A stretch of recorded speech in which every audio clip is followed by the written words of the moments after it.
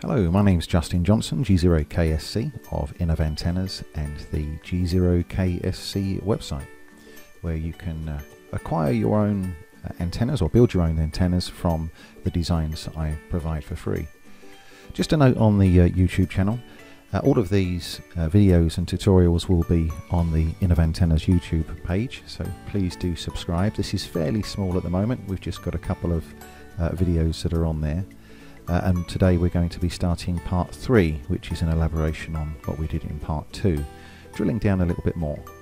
But uh, first off, the G0KSC site is here, g0ksc.co.uk, and as you can see there's a number of designs uh, which can all, all be replicated within um, EZNEC, down this left hand side here, and across the, the toolbars at the top. And uh, those are my early work, and for the more recent work um, these are available through my business or commercial website Innov Antennas.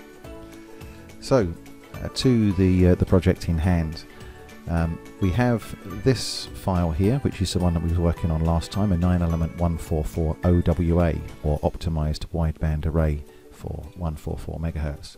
So to open this up in EZNEC, we're going to just double click, and this should then open up. So we're going to um, to look at uh, in a little bit more detail some of what we did before. Uh, I mentioned uh, about the antenna notes before. When you're saving a file, what you can do is open up um, an attached file here and just create uh, information about the versions that you've been um, looking at uh, and what you've been changing. Um, so it could be that um, dipole um, three millimeters uh, longer um, and it might be that you'd added a version number before that and when you save uh, this that will now be uh, attached to the file just for um, later on. So what we did first off is we had a look at the uh, the azimuth plots here. Just going to close this. Oh, and one point of note um, on here now, as I learn this software and get a bit more familiar with it, uh, there's some more features and functions that you will see. Now, when I'm moving my mouse, you can see that there's a little yellow halo around it. When I um, right click, you'll see the green target. So every time that green target sign appears, you know that I've um, uh, performed a right click if I haven't said so already. So we had a look at this last time. Uh, this is the, the plot for our 9 element antenna.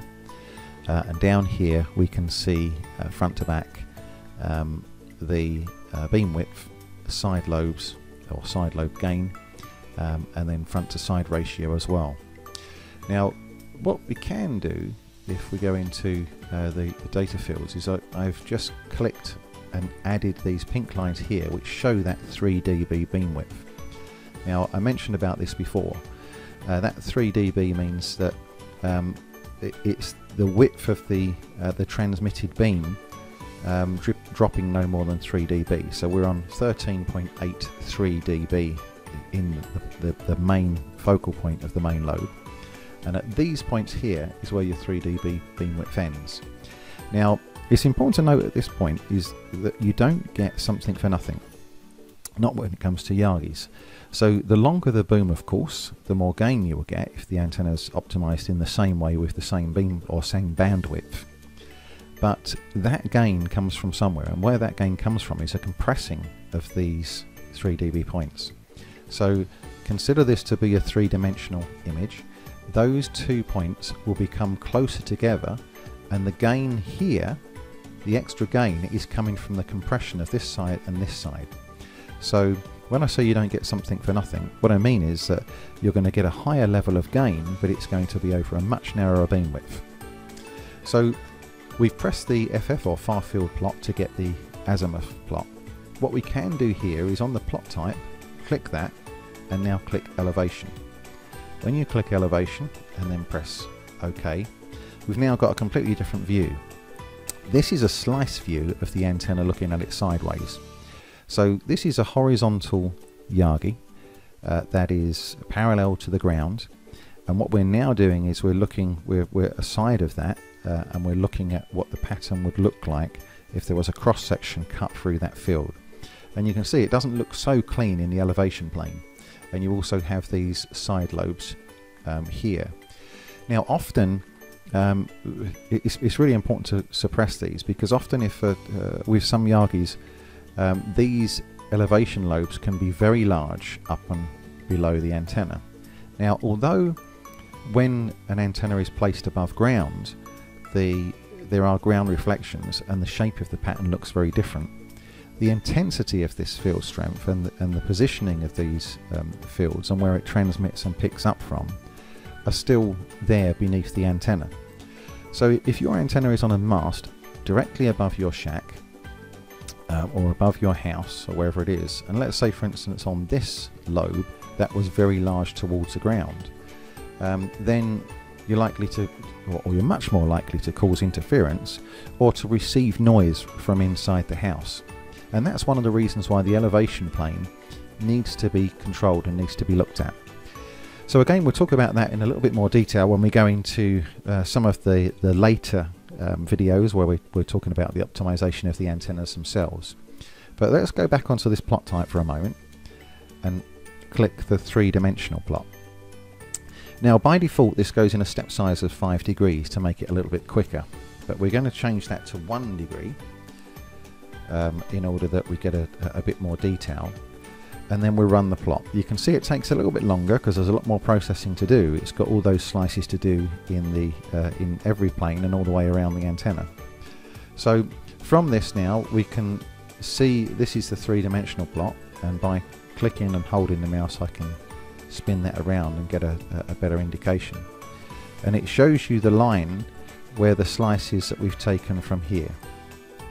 Uh, and what you can do is if you click this line um, you can see in degree segments um, how the antenna looks out to the sides and then back again back into the full um, main lobe. Uh, you can switch this off as well, the two-dimensional plot, or put it back on again um, and uh, switch between elevation and azimuth. But the important part, I guess, here is one of the limitations, um, just from a processing perspective, really, is this step size when a 3D plot is, is performed will only go down to one degree. Whereas if you were to go to the azimuth plot, for instance, you can go to 0.1 of a degree. Not particularly important of a model like this, um, but when you're going onto very long 432 and 23 SEMS um, models, if we're uh, referring to handband antennas, then it's good to be able to see in that kind of granularity because there are some very small spike lobes that you would not otherwise see if that wasn't uh, taken into account. So just uh, going back onto the three-dimensional plot for a moment, there's something I want to show here uh, which is, is shown in the, the main display. Now you can see here this model contains loss and you can see that it says with the average gain um, it's 0.983. Now with that um, that is a, a, a due to the fact that there is aluminium in play. The wires themselves are made from aluminium. Now if I was to change that to zero and then run the model again, we should see it as near as damn it 0.0. And it's just under that, as you can see, 0.02 is the, uh, the, the, figure. So uh, the, the, the model is fairly accurate as it is. In one of the earlier videos we was talking about the differences in the models. It was in the version, in the first one, the introduction to EZNEC. Um, and one of the issues that we're faced with uh, when modelling antennas which have bends and tapers in the same element is the accuracy. And if that model isn't particularly accurate, that can be seen here by switching off the wires, uh, the wire loss and putting it to zero. If this is a plus figure, then there's something of an error in the uh, in the antenna, and we need to revisit the segmentation density uh, in order to do that. So again, that's something that we'll cover in some of the later uh, videos as we move uh, as we move forward here. okay, so let's uh, let's have another look at the SWR plot here and take a view as to how uh, that looks and where it's sitting. So it's sitting around 146 at the moment. So now if we take this um, change to uh, 145 and look at the the SWR plot between 144 and 145 we can see it's, uh, it's, it's peaking up here and by clicking on the line it will show us what frequency that is and what the SWR is at this, uh, at this particular point. But what I wanted to do also here, before we go on to tuning the antenna um, and making it sit where we um, maybe prefer to have it sitting, which is at 144.3, um, I want to. I, I, spoke on the last one about uh, the differences between dipoles and uh, the Yagi and, the, and how the gain is worked out. Uh, and it's when uh, you're watching these things back and reflecting upon them that you feel that maybe if you're not familiar with the software or how uh, the antennas work, that this may not be completely obvious. So I'm opening up the wires window now, and I'm going to put also the um, the antenna and bring the antenna into view. Uh, and I'm zooming in uh, as much as possible. And then what I'm going to uh, do here is I'm going to highlight the first element, which is the reflector uh, and click on that and delete it. Now what was the driven element is now the first element in is, is element number one. So I'm going to get rid of all of the directors and um, if I don't highlight any element and just click on the delete it asks me which wires I want to delete so I'll put 2 to 8 and now um, I have just the, the driven element. Now this is not going to be particularly tuned uh, for use on its own. Um, what we're doing here is we're just going to have a look at the radiation pattern. To get the, the lowest possible SWR, would, the, the length would need to be um, moved around and the reason for that, or the, the lengthened or shortened. And the reason for that is that when you place elements in front or below of the, the Yagi, it alters uh, impedance and the, the shape that the antenna needs to be. So just for point of exercise, this is the azimuth plot as we see it now, and you can see that we've got um, the a, a, lobe on each side. This is the cross section looking at the horizontal dipole, uh, and we're on the ground as well looking at that side on. If I change this to the elevation plane and play that now, you can. This is looking down, so you can see it's perfectly. Um, uh, it, it's sorry, this is to the side on, um, but this is um, this is perfectly symmetrical as you can see. So what I'm going to do is, is go to the uh, azimuth plot, um, and uh, this is uh, um, looking down on the antenna. The other was uh, was side on uh, in free space, and I'm going to save this. You see, I can say save trace. So uh, that's the dipole. Going to save this.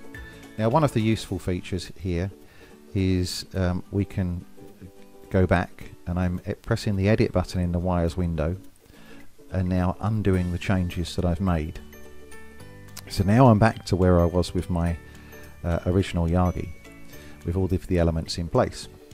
So really to give a, a, perspective as to how this looks I'm now going to add that dipole trace so we can see the difference, the delta between the dipole and the Yagi. Now, um, that's the overlay. You can see that that's the dipole highlighted against the Yagi.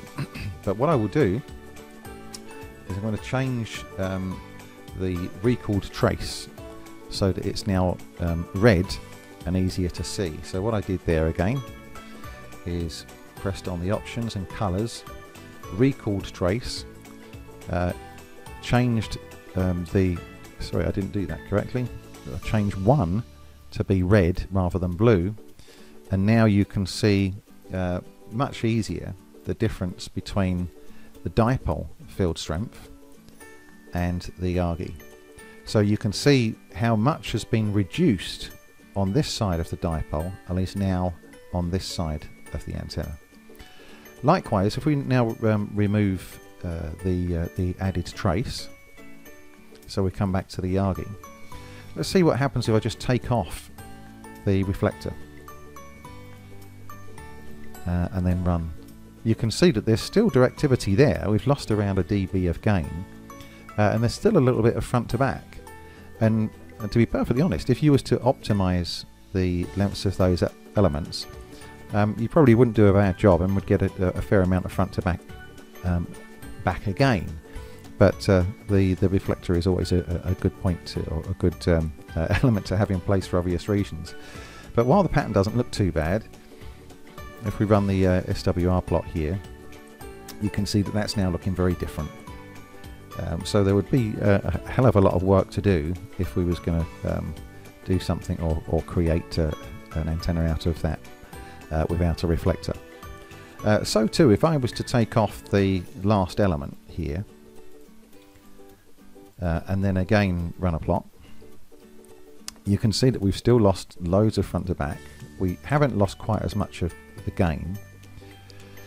Um, and when we run the SWR, the, the whole antenna is shifted down. Now, adjustments could be made to bring that back up, um, but uh, uh, in essence, one of the, the main things that will make a difference is by shortening the distance between the last uh, reflector and the second from last uh, reflector.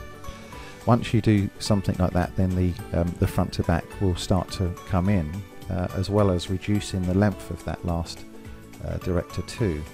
So I'm going to edit this and put it as 425. Um, and then you would see that it's now already up to 16.44. Um, so this answers another question which is often asked, which is can I just add an element on or can I remove one? And no, you can't. It doesn't. It, it will have some form of performance, but as far as SWR is concerned, and as far as front to back is concerned, and uh, in some respects gain, uh, gain is always uh, the the ironically the last thing to um, to be lost. Uh, then there's a lot more work that has to be done there. So this is a fill through of the um, the Yagi, how it, it, works in comparison to the dipole, uh, and really what we need to do in order to get um, uh, um, editing done within the wires window. Um, on the next video I'm going to go into a little bit more into segmentation and also adjustments on the antenna for optimization. Thanks for watching.